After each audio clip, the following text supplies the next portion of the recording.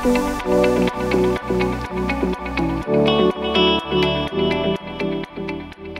my own experience, I would say this place is, is amazing for women.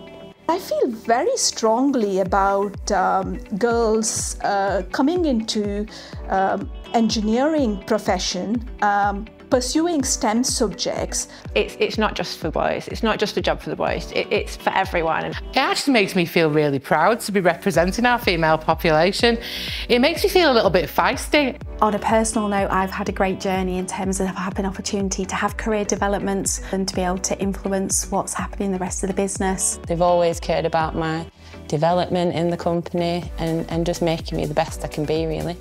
Uh, I went off to have a baby and came back um, on a four-day week. I did a qualification um, and I was actually promoted to talent acquisition manager. So it, it was quite refreshing because I know a lot of businesses, it's kind of if you're part-time, you kind of can't progress, but it's not like that with Electricity North West at all. It was the first lockdown in COVID, I got diagnosed with leukemia, so it was a really difficult time in my life.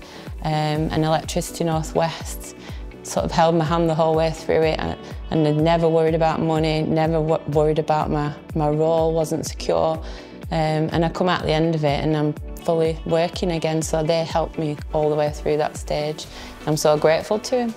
If you've got that spark of curiosity in you, there wouldn't be any other place than Electricity North West.